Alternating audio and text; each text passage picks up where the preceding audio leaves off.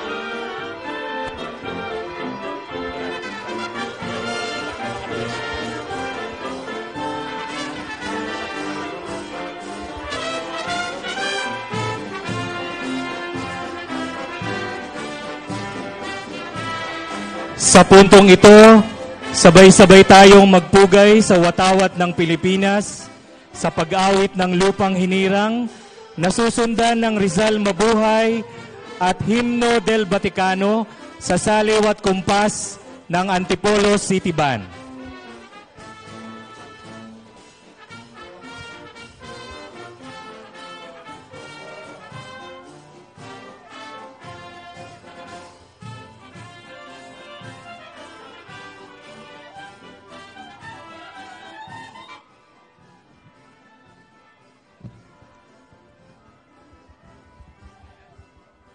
Muli sa puntong ito, sabay-sabay tayong magpugay sa watawat ng Pilipinas sa pag-awit ng lupang hinirang, nasusundan ng Rizal Mabuhay at Imno del Vaticano sa saliw at kumpas ng Antipolo City Band.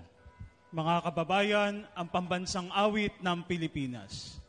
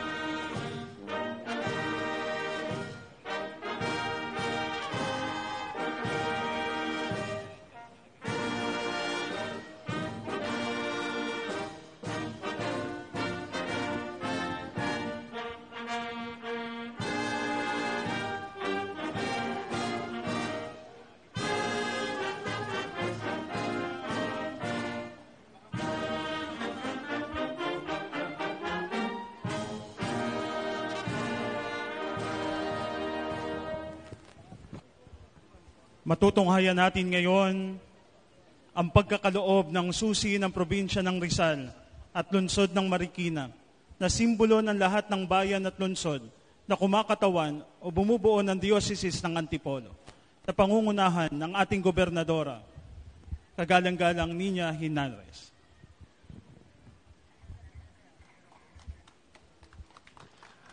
Atin pong palakpakan ang pagkakaloob ng susi sa ating ikalimang obispo, Most Reverend Bishop Ruperto Cruz Santos.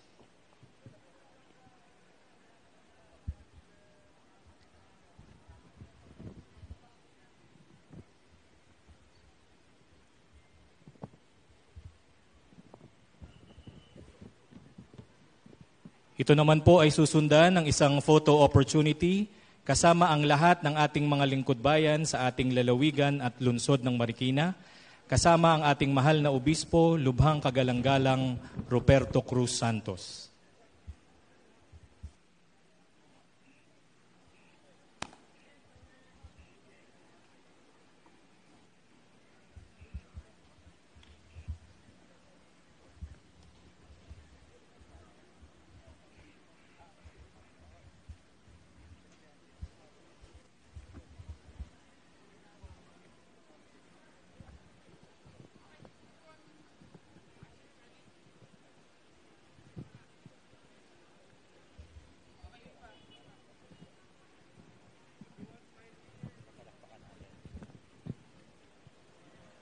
Mga kadyoceses, isa pong malakas na palakpakan para sa ating ikalimang obispo, lubhang kagalang-galang Roberto Cruz Santos.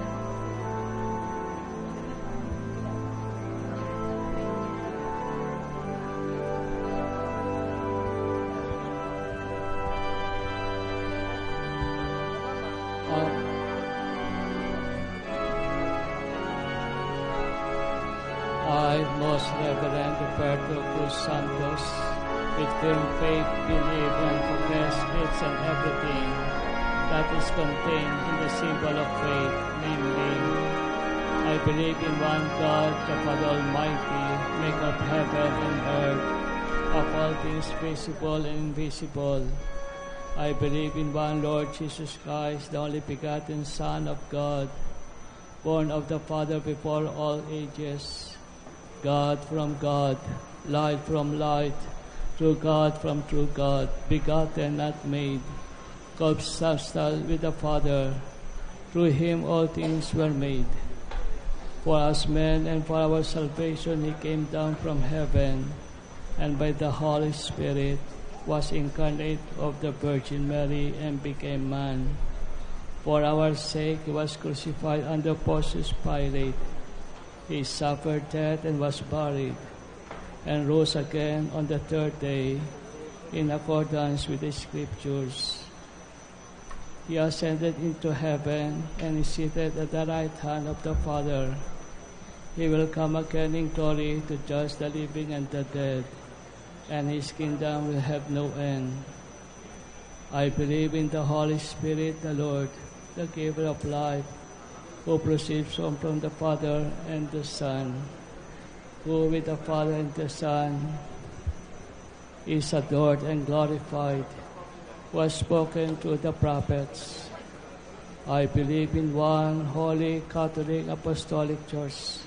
I confess one baptism for the forgiveness of sins, and I look forward to the resurrection of the dead and the life of the world to come. Amen.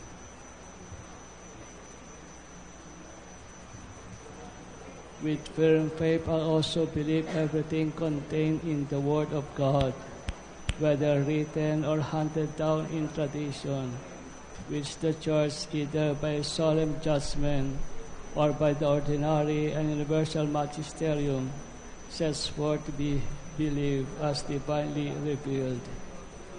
I also firmly accept and hold each and everything definitively proposed by the Church regarding the teachings on faith and morals. Moreover, I adhere with religious submissions of will and intellect to the teachings which either the Roman Pontiff or the College of Bishops enunciate when they exercise their authoritative magisteriums, even if they do not intend to proclaim these teachings by a definitive act.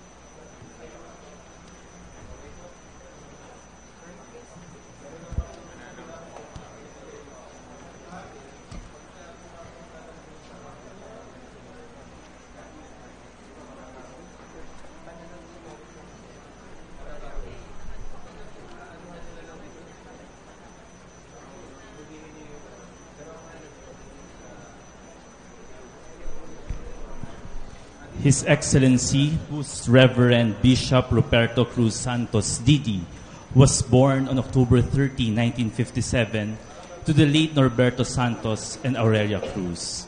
He has one brother named Rodelio and three sisters, namely Maria Lourdes, Maria Corazon, and Rosalind. The family is a native of Caingin San Rafael, Bulacan.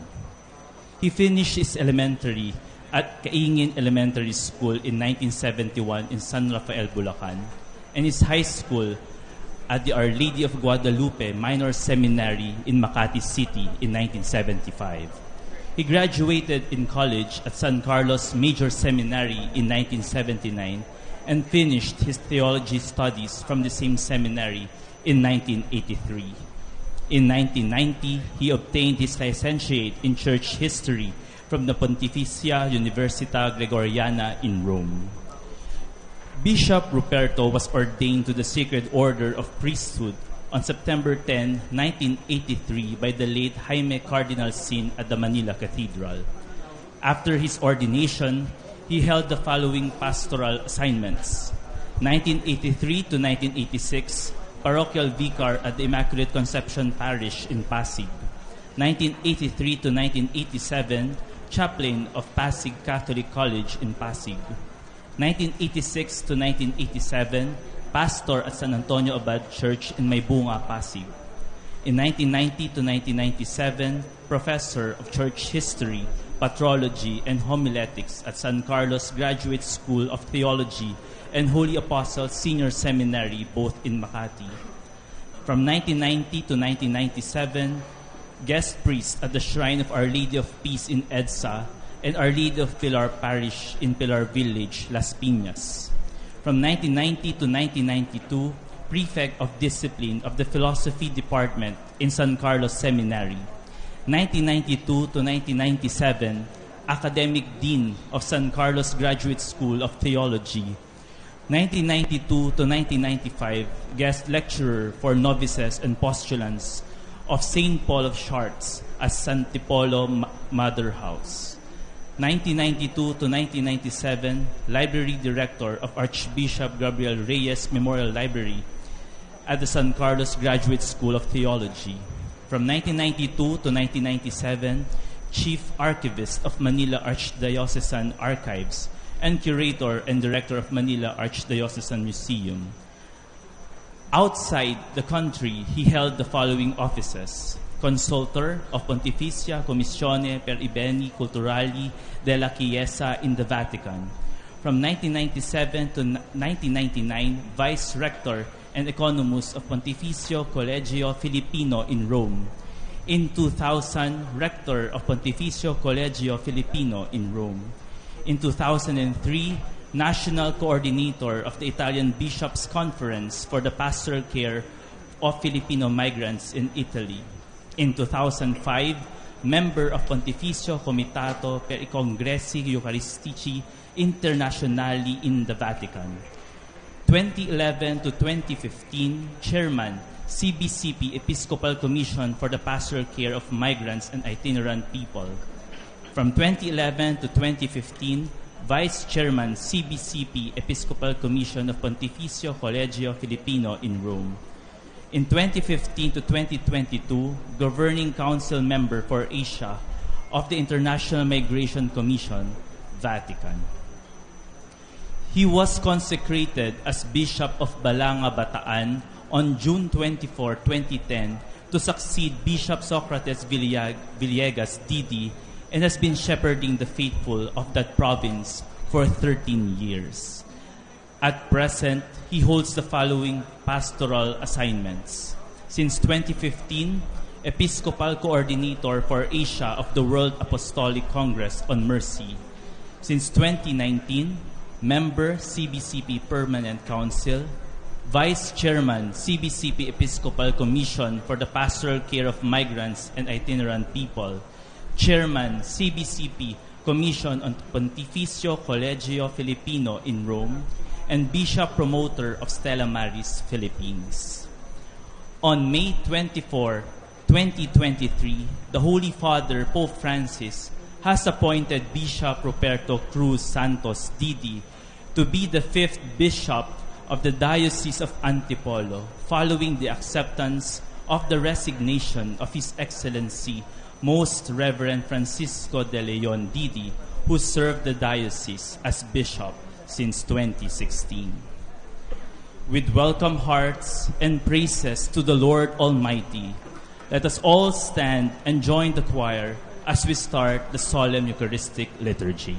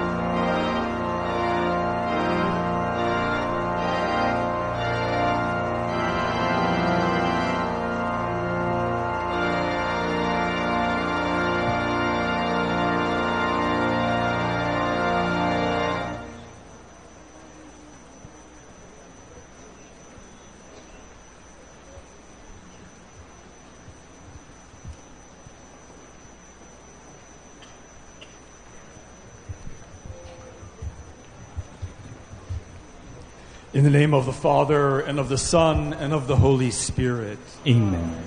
Peace be with you. And with your spirit. Let the apostolic letter from the Holy See be read.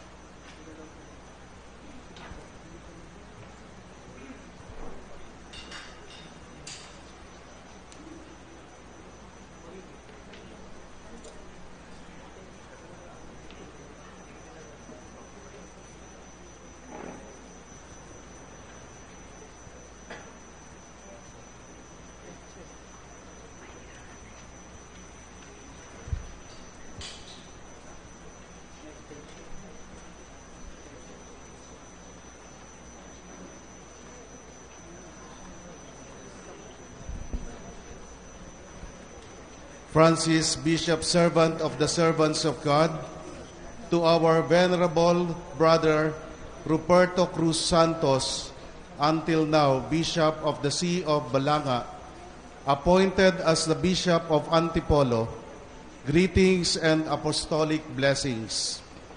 Indeed, the great hope which arises from and is fully completed in the resurrection of our Lord Jesus Christ leads Christians through their whole life to their heavenly homeland, desiring that its proclamation should never cease.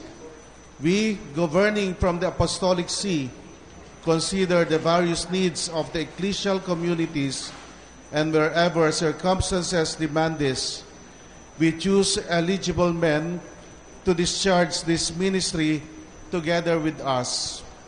Since the See of Antipolo is now in need of a pastor, owing to the resignation of our venerable brother Francisco de Leon, we turn to you, venerable brother, who in your current exercise of the episcopal duties in the community of Balanga have proven to be a man adorned with an array of virtues, both human and priestly. Therefore, having been received the advice of the dicastery for bishops, and having considered the matter at hand, we release you from the bond of your previous see, and we name and appoint you Bishop of Antipolo, together with all the rights and imposing on you the obligations of this mandate, according to the norms of the Code of Canon Law. Accordingly, we desire that you inform the people and the clergy of this ecclesial community of our decree, and we exhort them to provide you a sign of filial love and obedience in faith. And indeed, we likewise exhort you to show them paternal care as a sign of being a faithful servant of Christ. Finally, we pray that in acting in all these matters and concerns, the light of the Holy Spirit, the Paraclete, may help, lead, and be abundantly present to you, together with the sweetest intercession of the Blessed Virgin Mary and her spouse, Saint Joseph, given in Rome at the Lateran Basilica on the 24th of May in the year of our Lord 2023, the 11th of our pontificate, Francis. Let us therefore bless the Lord.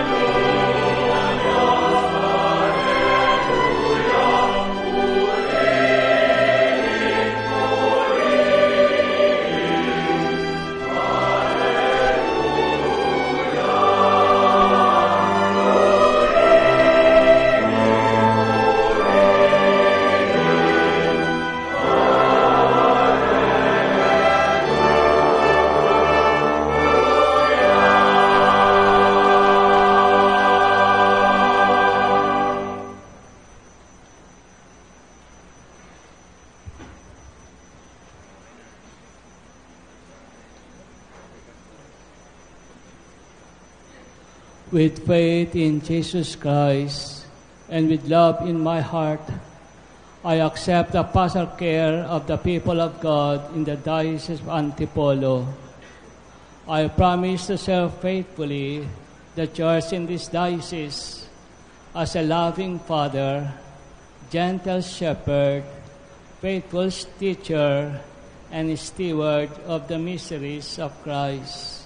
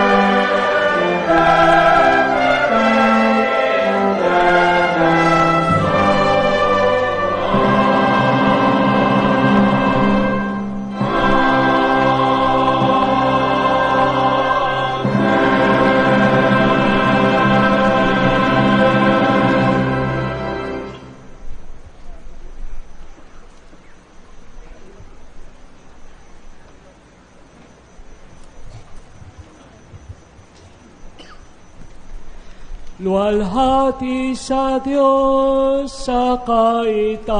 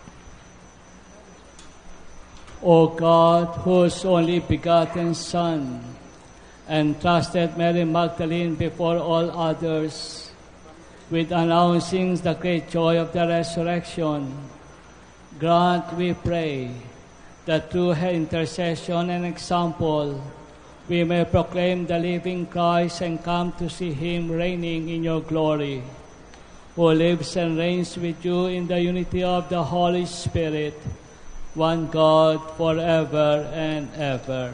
Amen.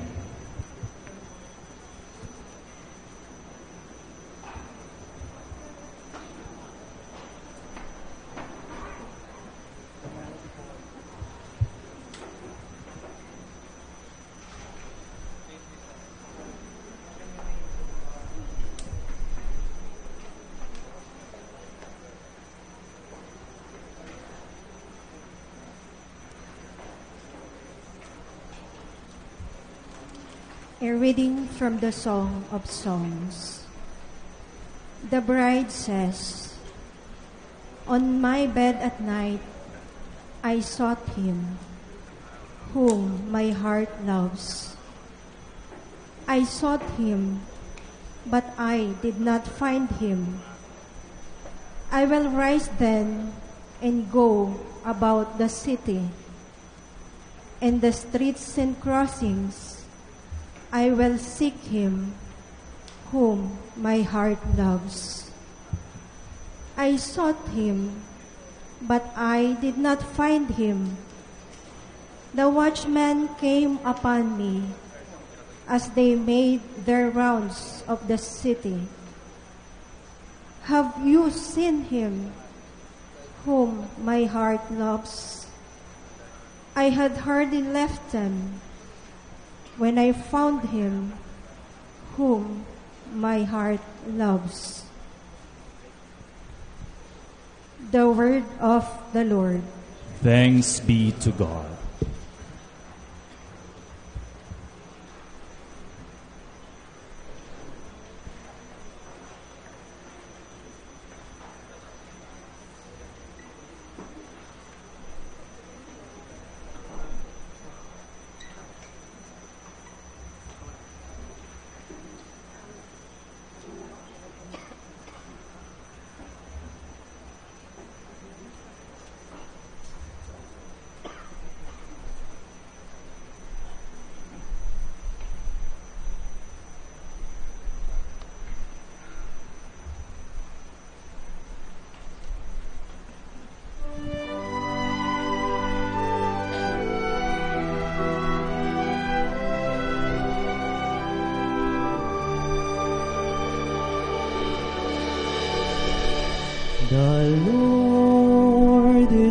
share.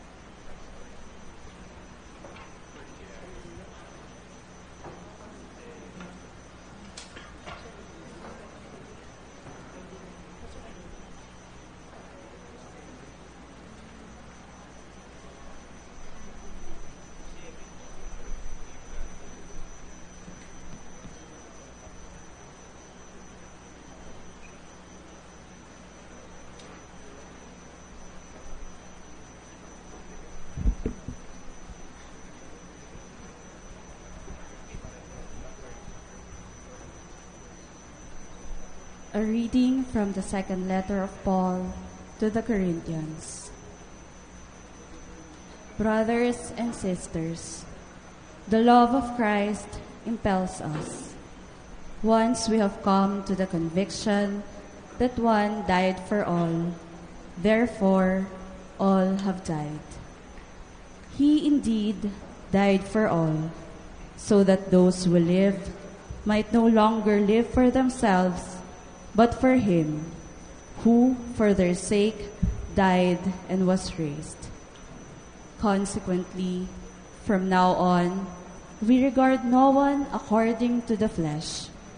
Even if we once knew Christ according to the flesh, yet now we know him so no longer. So whoever is in Christ is a new creation. The old things have passed away. Behold, new things have come. The word of the Lord. Thanks be to God.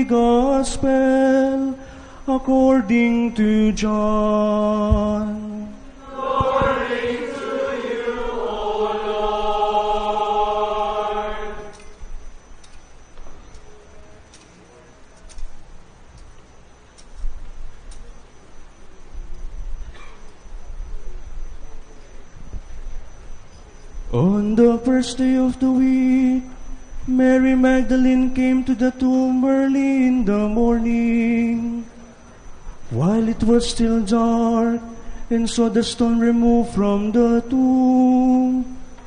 So she ran and went to Simon Peter and to the other disciple whom Jesus loved and told them, They have taken the Lord from the tomb, and we don't know where they put him. Mary stayed outside the tomb weeping, as she wept, she bent over into the tomb and saw two angels in white sitting there, one at the head and one at the feet, where the body of Jesus had been. And they said to her, Woman, why are you weeping? She said to them, They have taken my Lord, and I don't know where they laid him.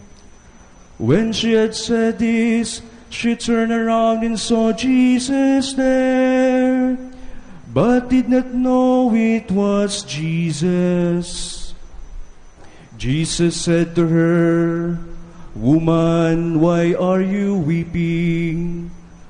Whom are you looking for? She thought it was the gardener and said to him, Sir, if you carried him away, tell me where you laid him, and I will take him. Jesus said to her, Mary. She turned and said to him in Hebrew, Rabboni, which means teacher. Jesus said to her, Stop holding on to me, for I have not yet ascended to the Father. But go to my brothers and tell them, I am going to my Father and your Father, to my God and your God. Mary Magdalene went and announced to the disciples, I have seen the Lord. And then reported what he told her. The Gospel of the Lord.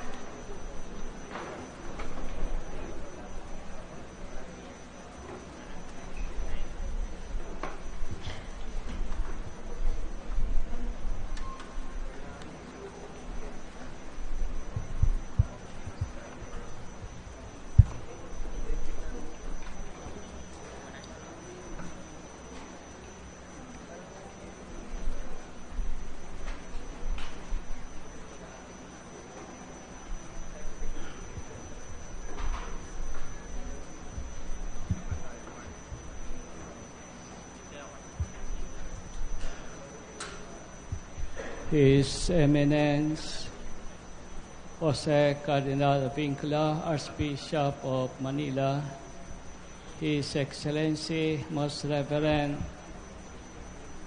Archbishop Charles John Brown, our Apostolic Nuncio,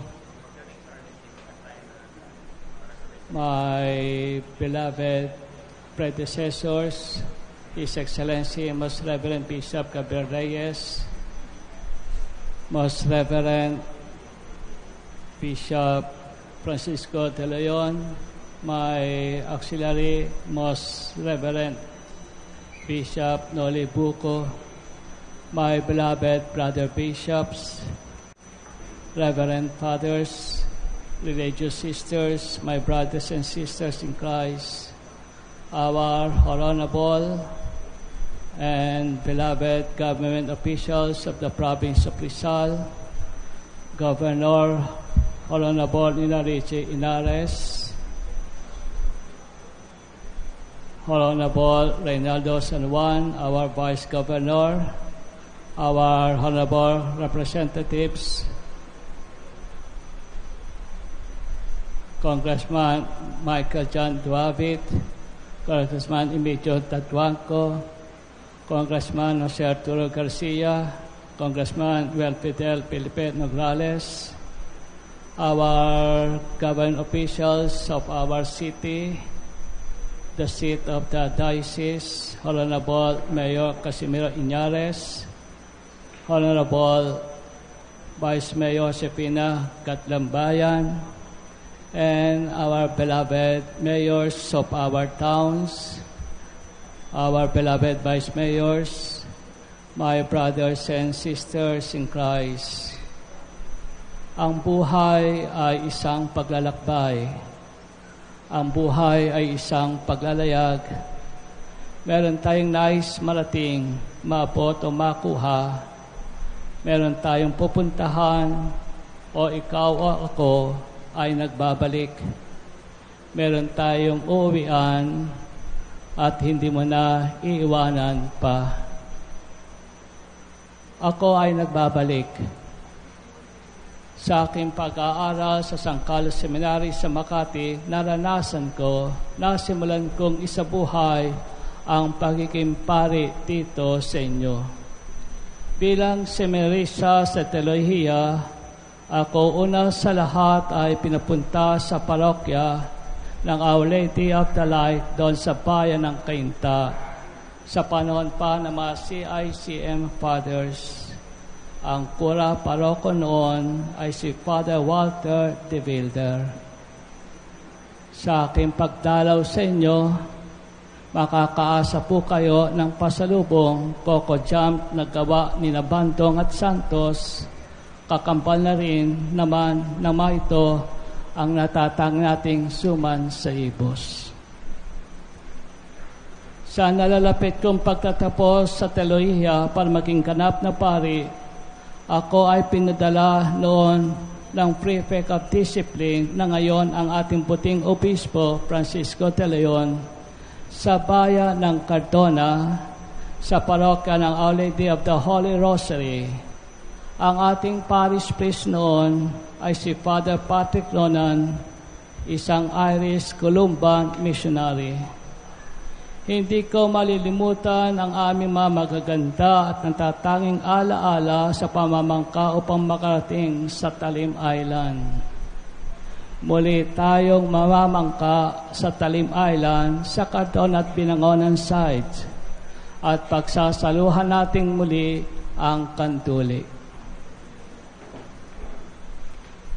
Nang ako ay nagbalik sa San Carlos Seminary bilang professor, prefect sa College Department at panghuli academic dean sa Theology Department, kaming lahat sa San Carlos Seminary sa pagsisimula ng kada school year sa unang linggo ng buwan ng Hunyo ay naglalakad dasal patungo rito.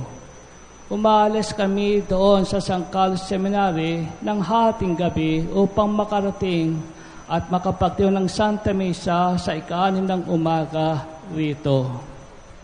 Inaalay namin ang pagsisimula ng aming pag-aaral, paghuhubog, at humingi kami sa Kanya ng Kanyang makainang patnubay at pamamagitan sa Kanyang anak na si Jesus. Hindi ba't batid natin, hinding hindi ka bibiguin ng iyong ina hinding hindi ka bibiguin ng iyong ina.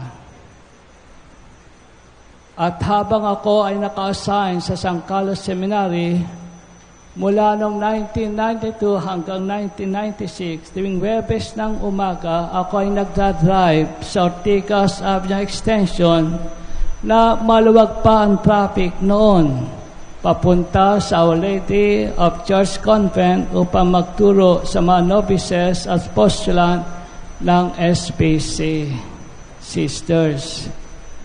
Tiyak, sa pagsapit ng February 2, ako ay nasa inyo. Pagsapit ng February 2, sa darating na maraming taon, ako ay darating sa inyo. Datapat mula noong 1997, hindi na ako nakabalik. Hindi na ako nakaulit pumunta rito. Subalit, kahit pa na malayo at napalayo ako sa kanyang piling, sa kanyang tahanan dito sa Antipolo, ako naman ay napalapit sa Espiritu sa kanya. Siya ay aming nakasama, kapiling namin doon sa Pontificio Collegio Pilipino sa Roma, Italia. Siya ang aming patrona. Nuestra Señora de la Paz y Bienviaje sa ating buhay, hinding-hindi ka iiwan ng iyong ina. Ikaw ay kanyang sasamahan, hinding-hindi kanya pababayaan, tayo kanyang ingatan, tayo ay kanyang sasalubungin. Ngayon, para sa akin, ako ay kanyang tinatawag. Pinauwi na ako ng ating ina ang mahal na Birhen sa huling yugto ng aking pagkapari sa kanyang tahanan dito sa Antipolo upang higit na makapaglingkod sa marami niyang anak at kawan. Ang aking tugon ay paulit-ulit sa kanyang winika, narito ang iyong alipin. Ang aking sagot sa pagtanggap ay, hayan ang iyong ina. Ako po ay nagbabalik. Narito po ako, nag-iisa, walang kasama, walang dala. Bahala na po kayo sa akin. Bahala na po kayo sa akin. Masasabi ko lamang na sa aking pagdating sa inyong piling ay kaisa ninyo ako. Ako ay katuwang ninyo, katulong lamang ninyo ako. Kaisa, katuwang, katulong, yan ang aking pagdating. Una, ako po ay kaisa ninyo. Anuman ang ating daratnan, anuman ang ating dadaanan, ano man ang ating gagawin at haharapin, ako po ay inyong kaisa. Kahit na mahaba o matagal, kahit pa na mahirap o bako-bako ang paglalakad, kahit pa na maalon at malakas ang hangin sa pagbabangka, kaisa po niyo ako, ako po sa inyo ay sasama. Sa mga lugar na malayo at mapanganib, sa mga taong nabibigatan at nangangailangan. Ako po ay inyong makikita. Ako po ay inyong marinig. Ako po ay inyong mahawakan. Tulad ng ating mahal na ina, ang ating buting patrona, ang Birhen ng Kapayapaan at mabuting paglalakbay. Kayo ay aking pupuntahan, kaya aking lalapitan, kaya aking paglilingkuran. Ako po tulad niya na really ready and hurry to a town in the hill country. Luke chapter 1 verse 39. Kayo po ay aking kakausapin, kay aking alagaan, kay aking ipapanalangin, tutulungan, at sasabihin ko rin sa kanya, they have no more wine. At kay aking hahanapin, kay aking alalayan at papalalahanan, do whatever He tells you. Kung tayo man ay susubukin, masasaktan o mawawalan, higit nyo akong makakasama, lalo pa akong makikiisa, gaya ng ating mahal na ina na naroon at nanatili sa paanan ng krus.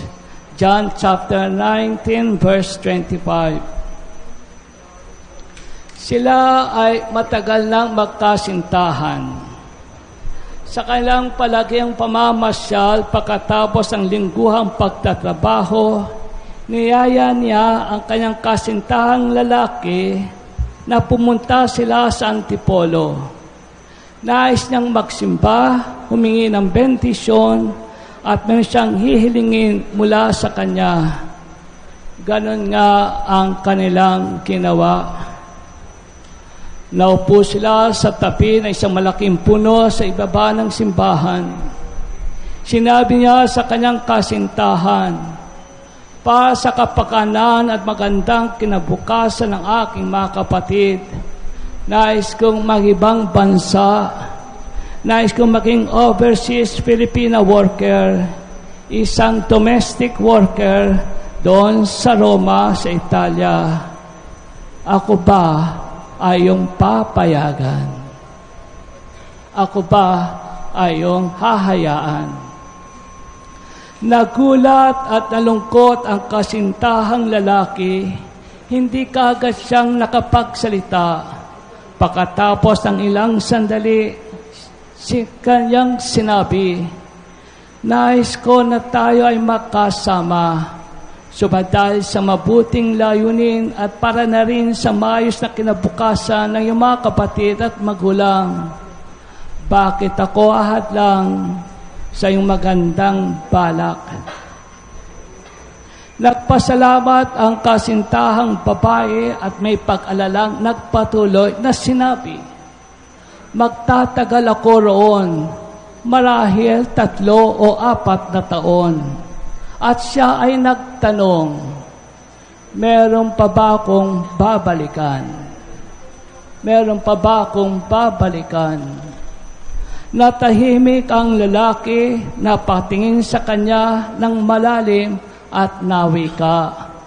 Alam ko, ibabalik ka sa akin ng Panginoong Diyos.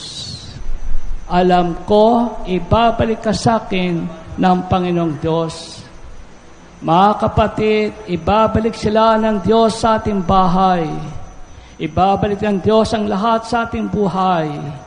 Ibabalik tayo ng ating mahal na Birhen sa piling ni Jesus. Tayo ay magiging kanyang kaysa, muli tayong magkakasama. Ikalawa, katuwa ninyo ako. Wala pa akong may papakita. Wala po akong nagawa. Tatapat maraming salamat sa ating mga nauna na sa akin sa kailang panahon, sa kailang pagpapagod, sa kailang pagpapastol, o Bispo Gabriel, Francisco at Noli, na matipay, maunlad at maganda na ang diocese ng Antipolo. Maraming salamat sa ating mga kaparian, diocesan at religious, sa ating mga consecrated persons, dahil sa inyong pagdarasal, sa inyong pakikisa sa layunin diocese ng Antipolo at pagsusunuran, ang ating inang simbahan ay matatag, masagana at buong buo. Maraming salamat sa ating mga mananampalataya, sa ating mga namamahala at namumuno sa ating pamahalaan at simbahan na sa inyong pakipagtulungan, sa inyong pagdamay at paglilingkod, ang ating lalawigan ng Rizal, ang ating diocese ng Antipolo ay kinikilala, pinupuntahan at sentro ng pananampalataya at paglalakbay tasal ng mga katolikong Pilipino.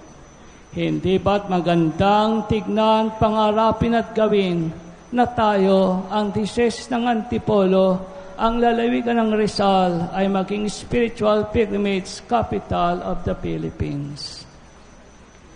Masasabi ko po na hindi pa ako nagpupunla, ako ay umaani na. Subalit hindi naman dapat na ako ay kukuya-kuya-kuy na lamang habang kumakain ng kasoy. Tama lamang na ako ay magpagod at maglingkod.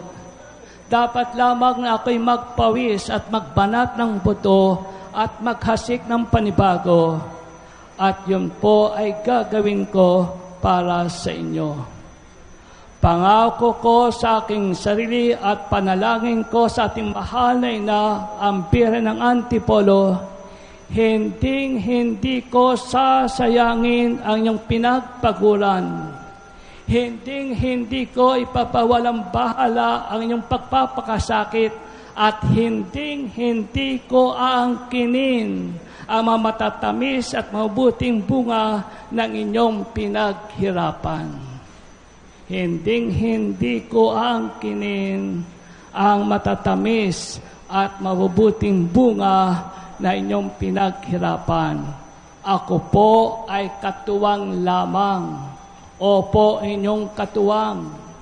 Sa pagtataguyod ng inyong itinayo at sinimulan, ako ay inyong katuwang sa inyong muling paglilinang at sa bagong pag-ahasik, ako po ay inyong pag-utusan sa pagtatahak sa panibagong gawain at sa paglalakad sa malayong lupain.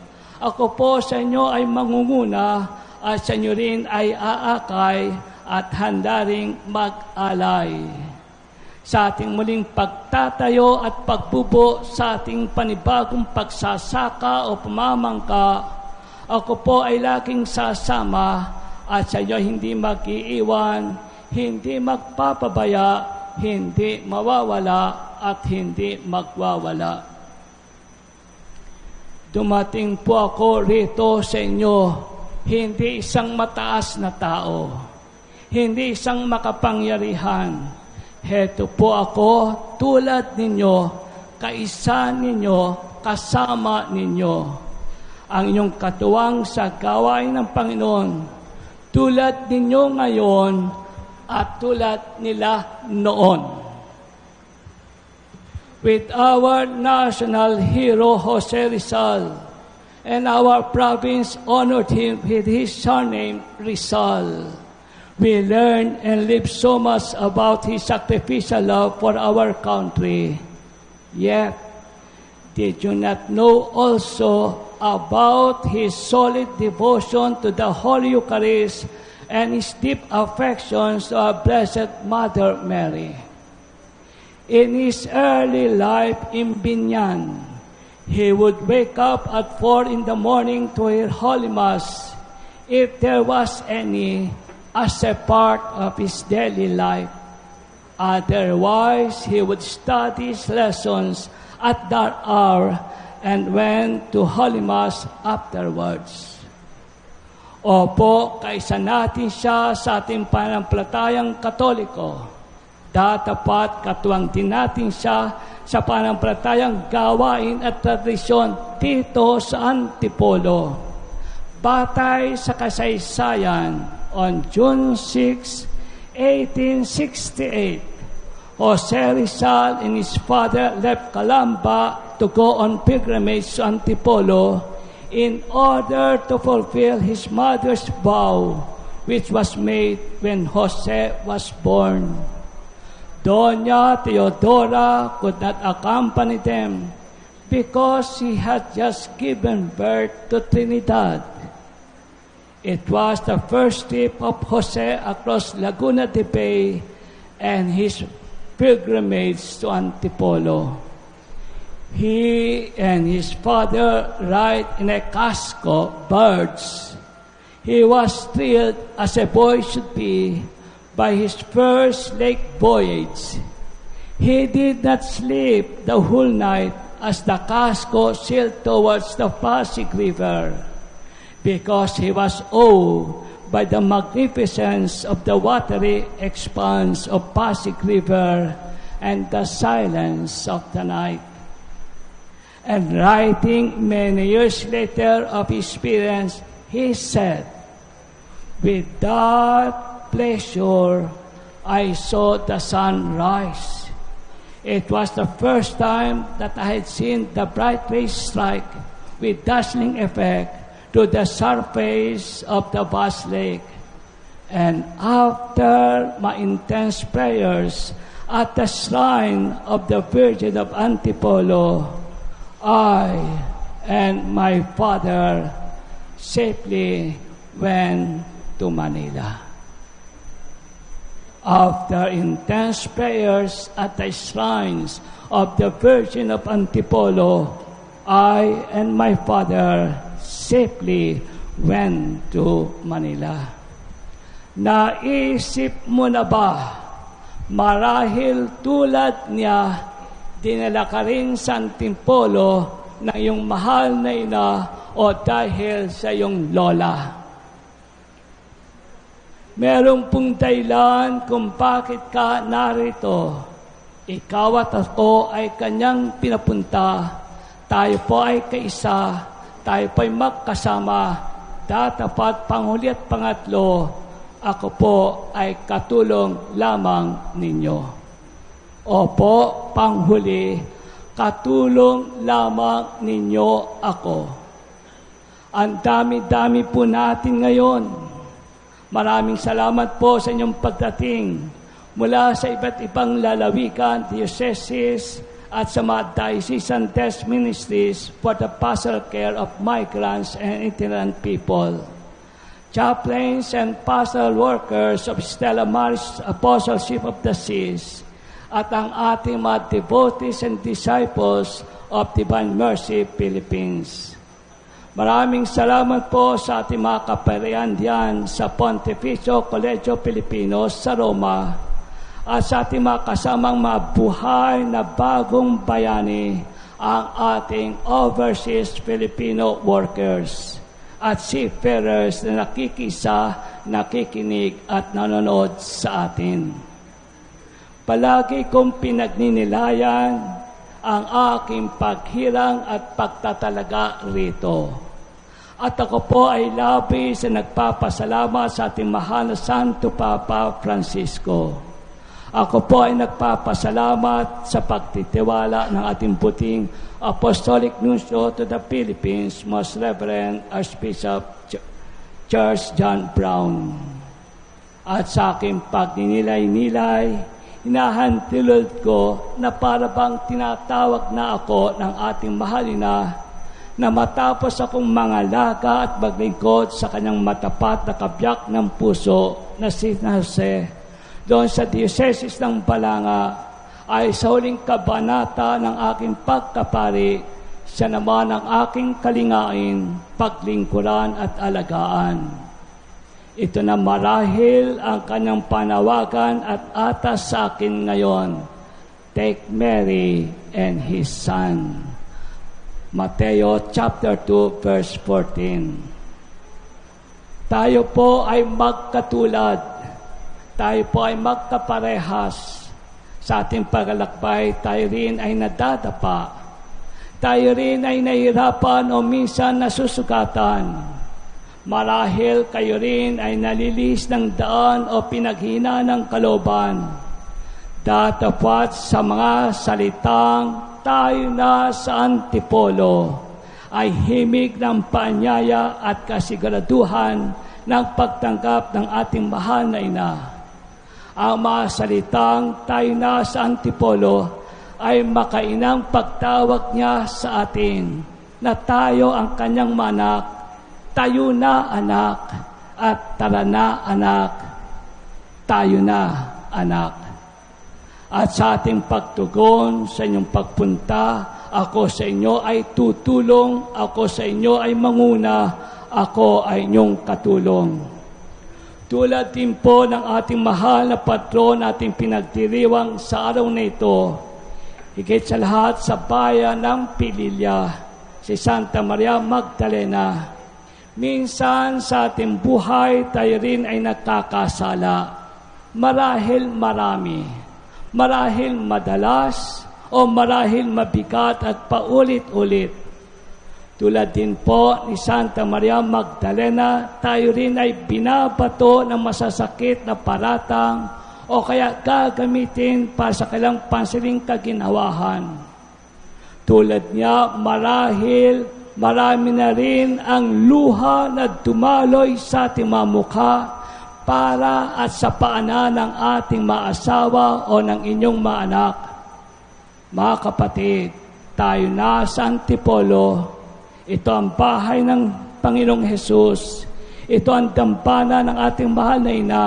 Ito ang kanyang tahanan. At ito sasabihin niya tayo, tahan na anak. Ito ang bahay ng Diyos. Ito ang dampana ng ating mahal na Birhen Maria. Ito ang aking katidra. Datapat yan din ang aking bibigkasin at gagawin. Tahan na anak, tayo na sa Antipolo. Ito ang iyong tahanan, tahan na anak. Hindi ako magtidiin, hindi po ako magiging pabigat, at hindi pa rin ako magpapahirap. Ako ay sa inyo isang katulong, inyong kasambahay. Mga minamahal ko mga kapatid, ang buhay ay isang paglalakbay. Ang buhay ay isang paglalayag. Ito na marahil ang uling kabanata ng aking paglalakbay. Isang malaking pagpapala at isang mabigat na pananagutan na guguling ko ito sa piling ng ating mahal na ina, ang Birhen ng Antipolo.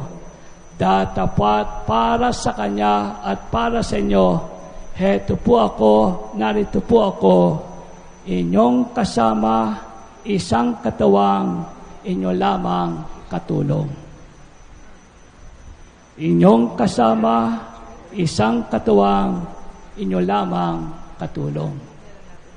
Sa ngalan ng Ama, ng Anak, ng Espiritu Santo. Amen.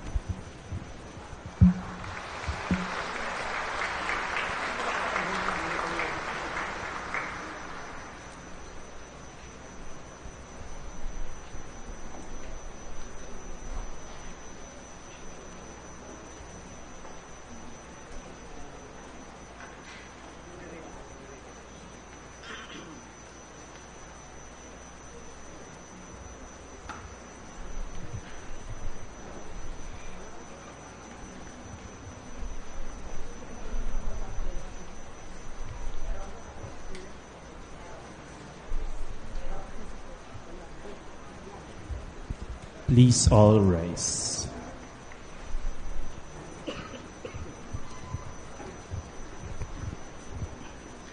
Let us pray to God our Father who has continually guided and accompanied us in our journey of faith all these years. With confidence, let us implore Him and pray. Hear our prayer. Lord, hear our prayer.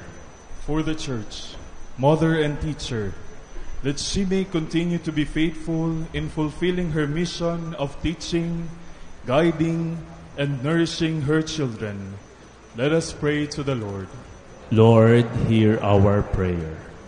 For Francis our Pope, Ruperto our Bishop, Noli his auxiliary, all the bishops and clergy, that they may have strength to shepherd generously the flock entrusted to them by the Good Shepherd. Let us pray to the Lord. Lord, hear our prayer. For all the nations of the world, that they may work together towards the dialogue of solidarity, the culture of peace, sharing of goods, and generosity of people of goodwill. Let us pray to the Lord. Lord, hear our prayer. For those who hold public office, that they may always seek the ways of righteousness, justice, and mercy, and lead our people with honesty and integrity. Let us pray to the Lord. Lord, hear our prayer. For the poor, the elderly, the sick, and all those in need, that they may be strengthened by our love for them as brothers and sisters. Let us pray to the Lord. Lord, hear our prayer. For all of us gathered, that we may be renewed in our faith life and may take part in shaping the church and society according to gospel values. Let us pray to the Lord. Lord, hear our prayer. God, our Father, we lift up to you our petitions as we trust in your mercy and wisdom. May we come to share the glory of your Son who draws our hearts to you. We ask this through Christ our Lord. Amen.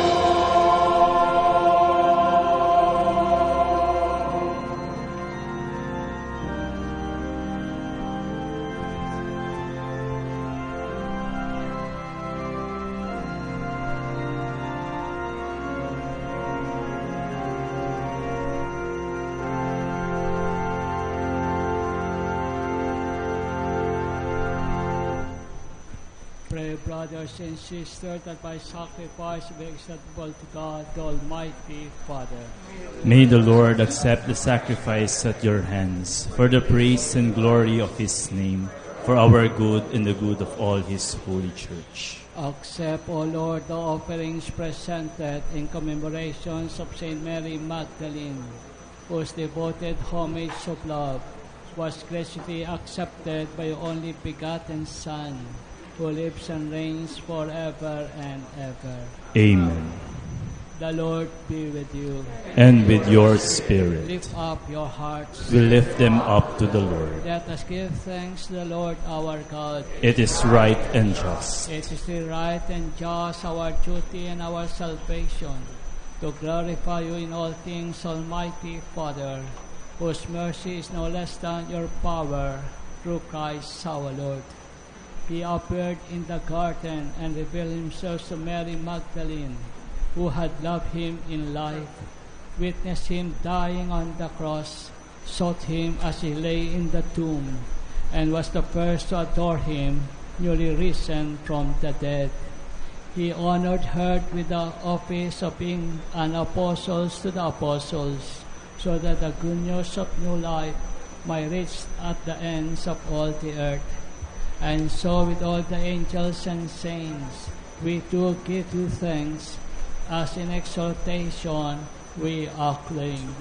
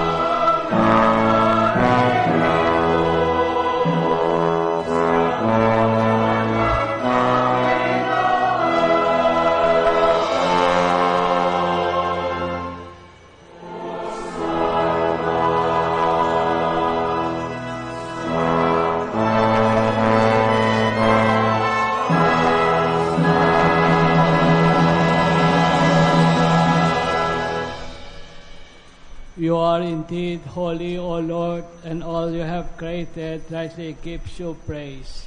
For through your Son, our Lord Jesus Christ, and by the power of the and working of the Holy Spirit, you give life to all things and make them holy. And you never cease to gather people to yourself, so that from the rising of the sun to its setting, a pure sacrifice be offered in your name. Therefore, O Lord, we humbly implore you, by the same Spirit, graciously make holy these gifts we have brought to you for consecration, that they may become the body and blood of our Lord Jesus Christ, at whose command we celebrate these mysteries. For on the night he was betrayed, he himself took bread, and giving you thanks, he said the blessings. He broke the bread and gave it to his disciples, saying, Take this, all of you, and eat of it, for this is my body, which will be given up for you.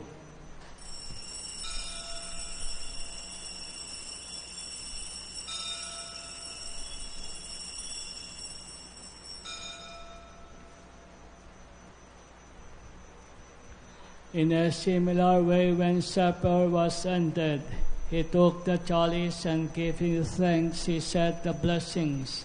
He gave the chalice to his disciples, saying, Take this, all of you, and drink from it, for this is the chalice of my blood, the blood of the new eternal covenant, which will be poured out for you and for many for the forgiveness of sins. Do this in memory of me.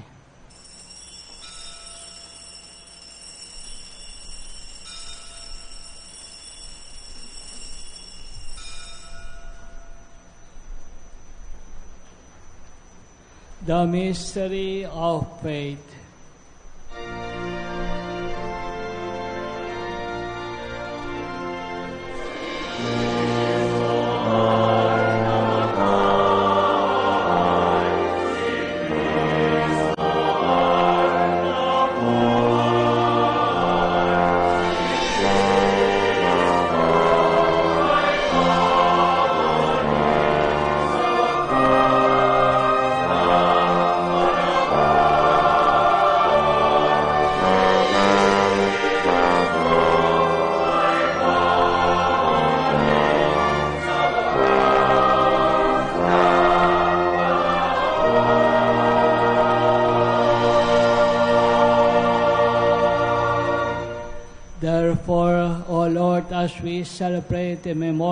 Of the saving passions of your Son, his wondrous resurrection, ascension to heaven, and as we look forward to his second coming, we offer in thanksgiving this holy and living sacrifice.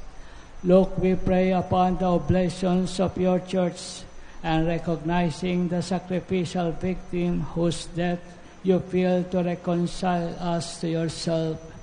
Grant that we who are nourished by the body and blood of your Son and filled with his Holy Spirit may become one body, one spirit in Christ.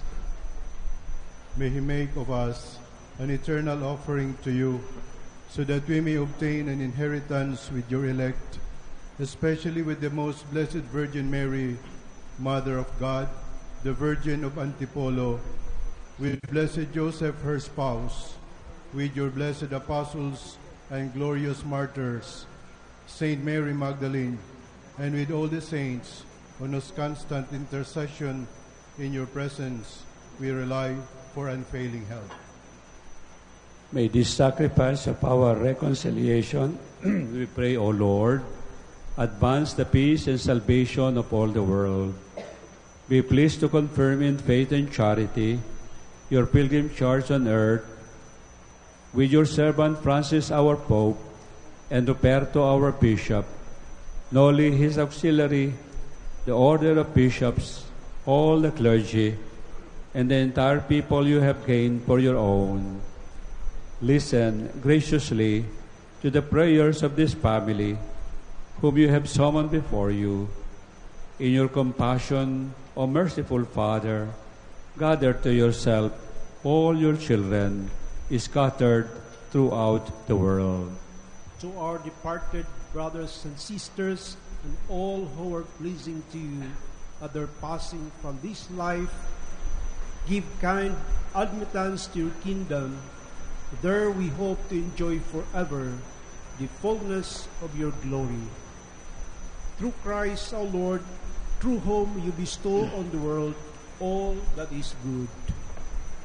Through him, with him, and in him, Almighty Father, in the unity of the Holy Spirit, all glory and honor yours now and forever.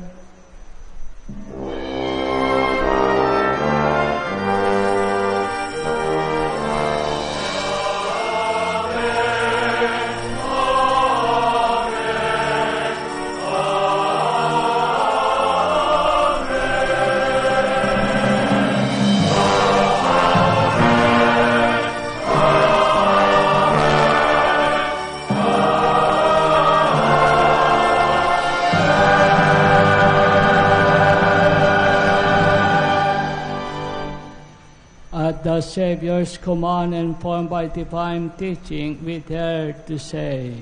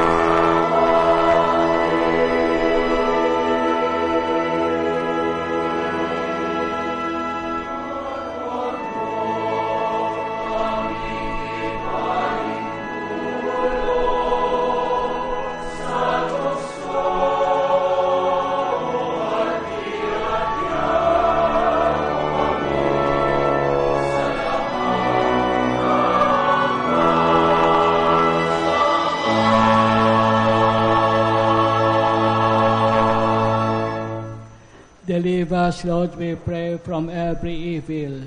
Graciously grant peace in our days, that by the help of your mercy we always free from sin and safe from all distress, as we await the blessed hope and the coming of our Savior, Jesus Christ.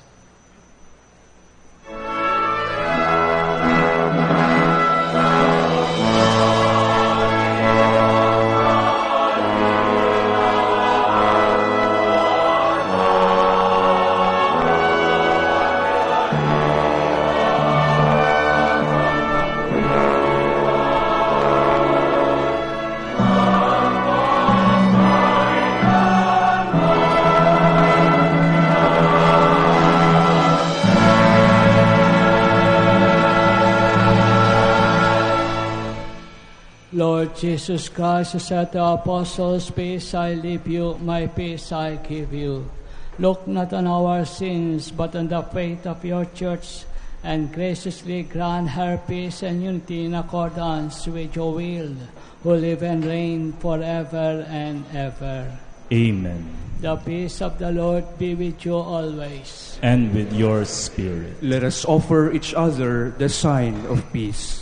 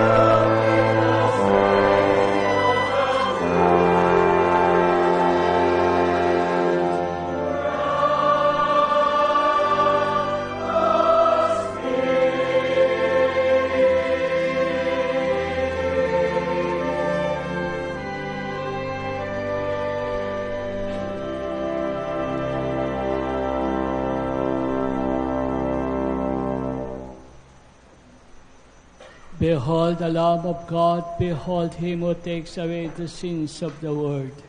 Blessed are those called to the supper of the Lamb. Lord, I am not worthy that you should enter under my roof, but only say the word, and my soul shall be healed.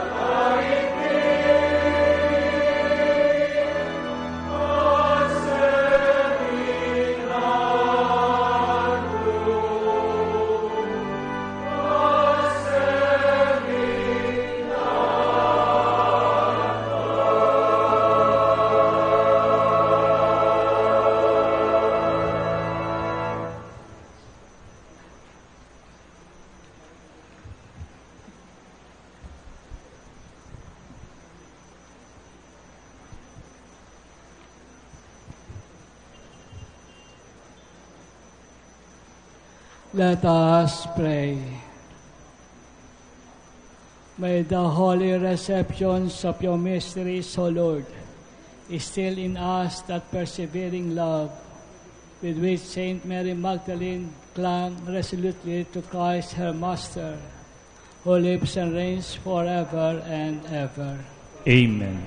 Please be seated for the message of the Apostolic Nuncio to the Philippines, His Excellency, Most Reverend Archbishop Charles John Brown, D.D.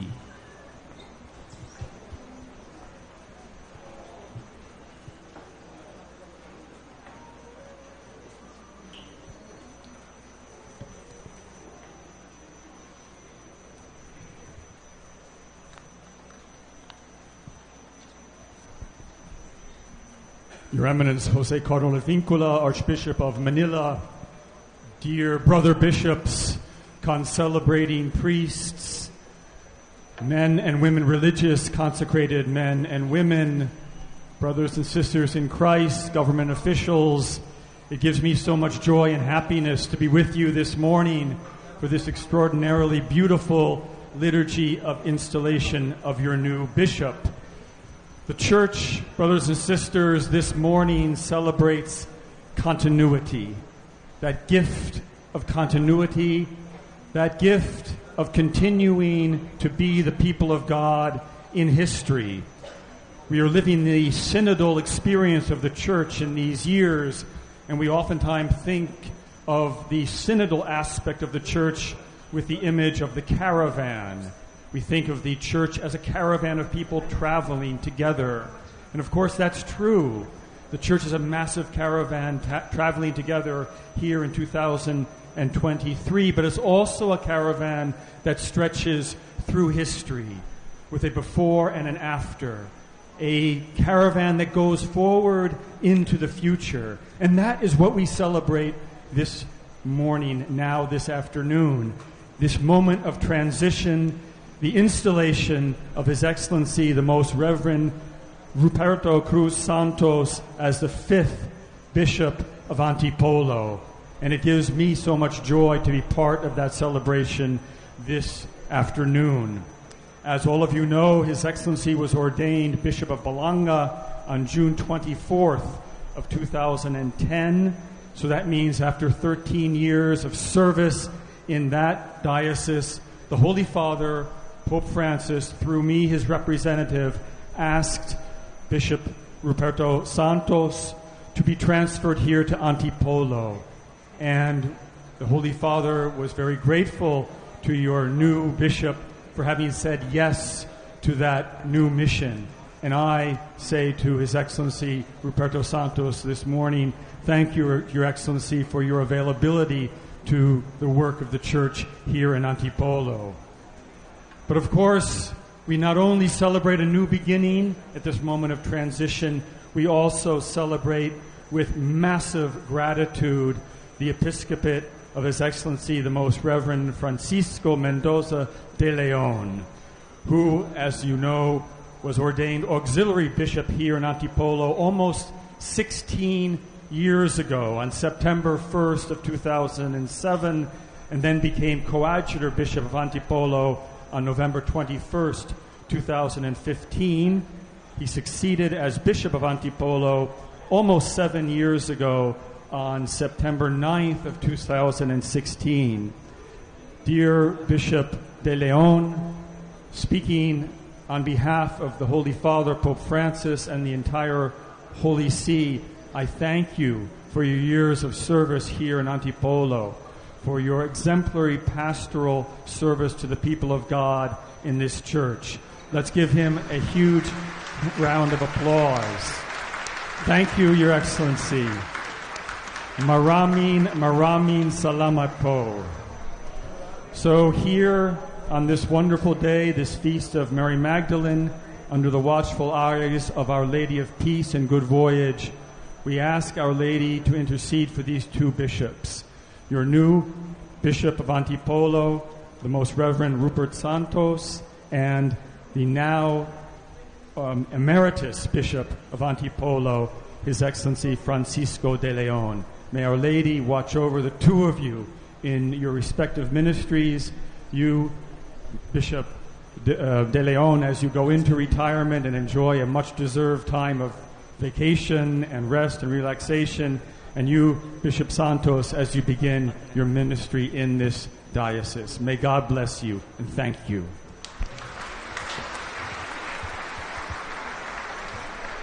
Please all stand.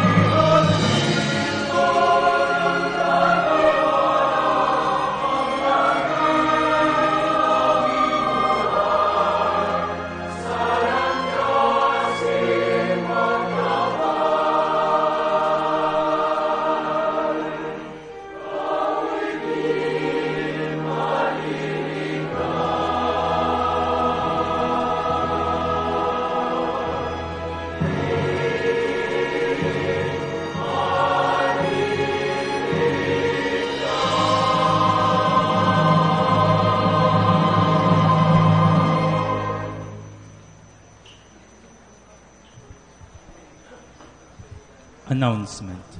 There will be a photo opportunity after the Mass by order. First, the Apostolic Nuncio, Cardinal Advincula, Bishop Ruperto, Bishop Francis, Bishop Gabi, and Bishop Noli.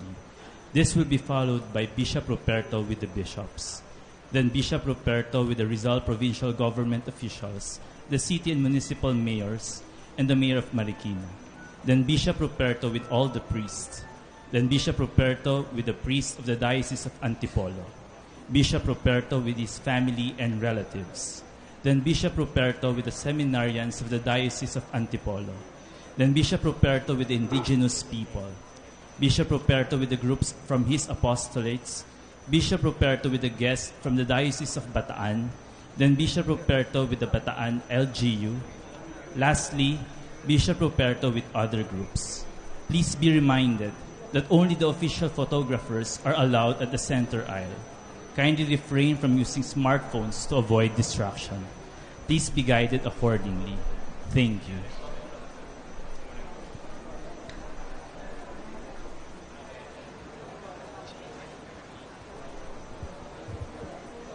The Lord be with you. And with your spirit, Blessed be the name of the Lord. now and forever, Our help is in the name of the Lord. who made heaven and earth. May Almighty God bless you, the Father, and the Son, and the Holy Spirit. Amen. Go in peace, glorifying the Lord by your life. Thanks be to God.